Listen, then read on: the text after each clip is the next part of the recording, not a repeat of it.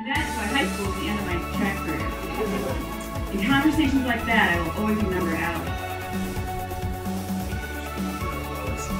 And uh, I would not have been able to do this without all that I learned at Loras College. thanks to our men's and women's uh, track and field teams, which is parallels with cross country, just as wonderful to be here today and celebrate our new track.